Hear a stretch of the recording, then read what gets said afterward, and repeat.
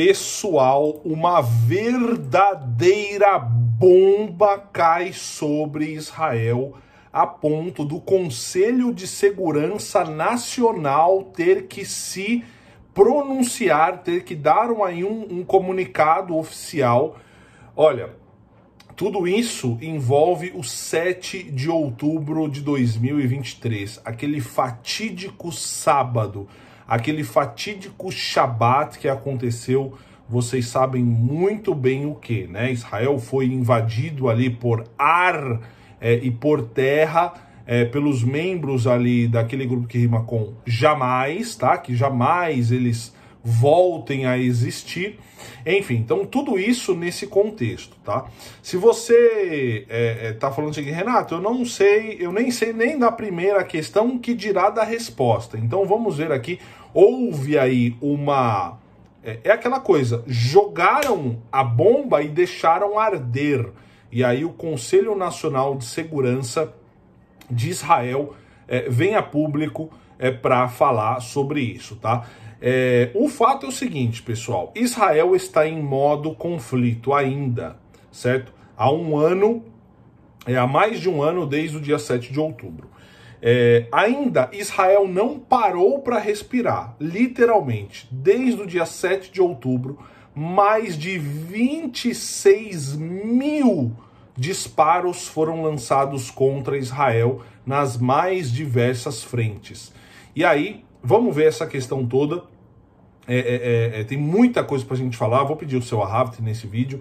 Deixe aqui o seu Ahavt, deixe o seu gostei é, significa gostei em hebraico, like. Isso me ajuda de graça, não dói, é meio segundo. Você me ajuda de graça, de verdade, dando esse mínimo gesto, me ajuda muito mesmo. agradeço demais a todos vocês, tá? Muito, muito, muito obrigado. Se inscreva no canal, tem bastante conteúdo interessante, são sempre três vídeos por dia. E também ative aí as notificações para você receber os vídeos os três vídeos diários, tá? E também, se você quiser baixar três e-books gratuitamente de hebraico, primeiro estudo do hebraico.com e no primeiro link da descrição, aprenda hebraico, se você quiser se tornar meu aluno de hebraico, primeiro link aí, veja o depoimento dos alunos. Pessoal, então é o seguinte, vamos começar. É, vamos, vamos falar o seguinte, ó, é, houve informações, de acordo com um relatório, então essa é a primeira questão, depois a gente vai falar da resposta.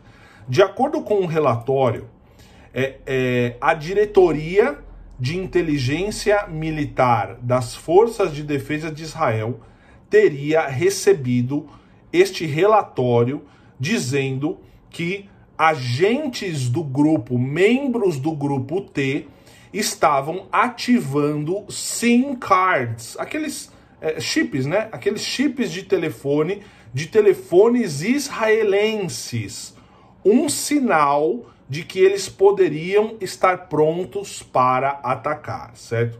É, o, enfim, esse relatório é, indica, né? Indica que Israel sabia do ataque do 7 de outubro horas antes, tá? É, é um relatório bem complexo aí, essa é a bomba que jogaram ali em Israel, certo? E aí, é, o Conselho Nacional, o Conselho de Segurança Nacional de Israel negou este relatório de que a investigação das forças de defesa de Israel sobre as horas que antecederam a invasão do grupo no dia 7 de outubro, pessoal. Ou seja, falaram o seguinte: olha, Israel sabia horas antes. Aí o Conselho Nacional falou: não, nós negamos esse relatório, nós não sabíamos horas antes o que iria acontecer.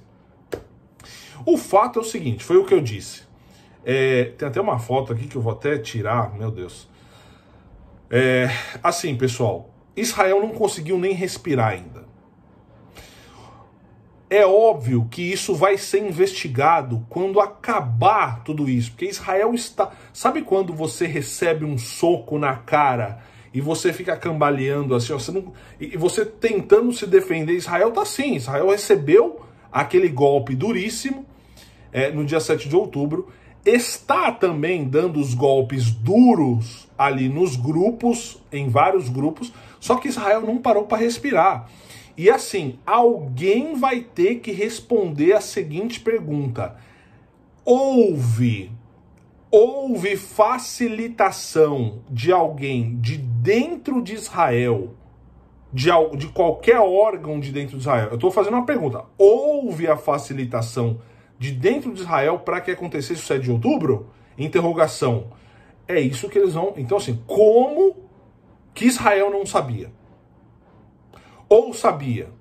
Enfim, essa é a questão. Então, esse relatório indica que é, SIMs, de, é, sim, é, microchips de telefone, chips de telefone celular é, foram ativados, é, telefones israelenses por membros do grupo T. Isso é muito grave. Aí vem a questão, vem a seguinte pergunta: alguém de dentro de Israel sabia disso?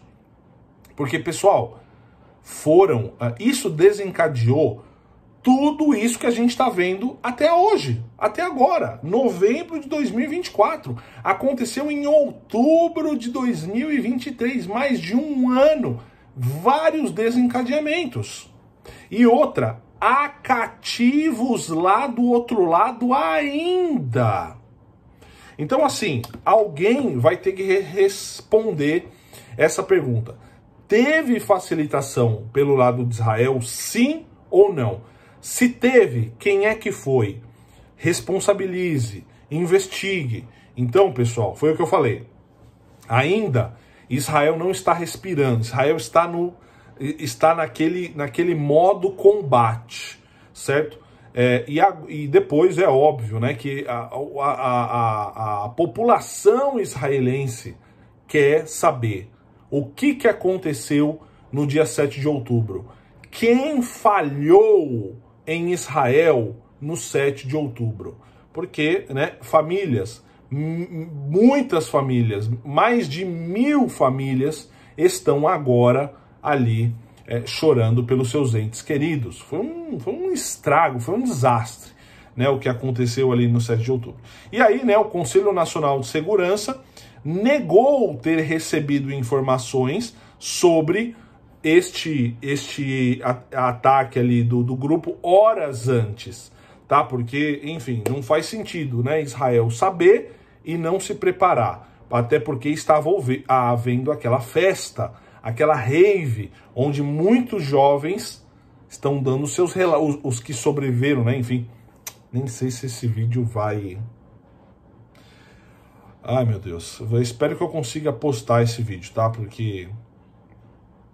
Enfim, onde muitos jovens, aqueles que saíram dali, é, relataram o verdadeiro inferno que eles viveram e estão vivendo, né?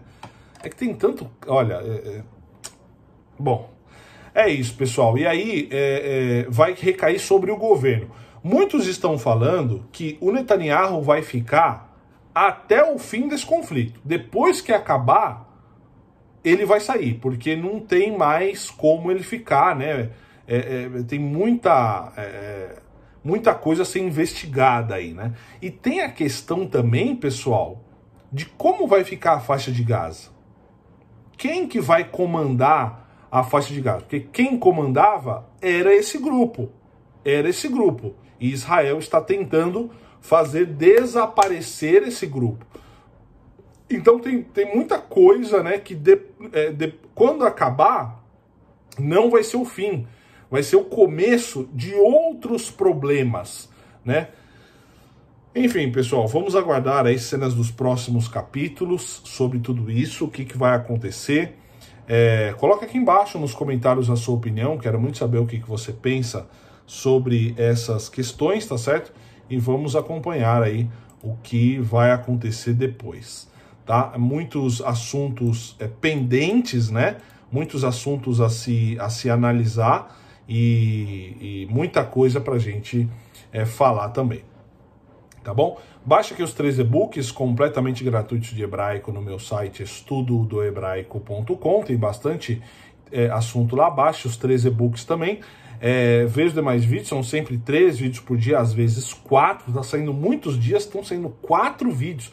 É que assim, eleições americanas, o Trump é, causando, entre aspas, né, colocando, dando as suas declarações, o Irã, é, Estados Unidos, Israel, é, é, os desenrolares das questões aí, tem muita coisa a se analisar, tá?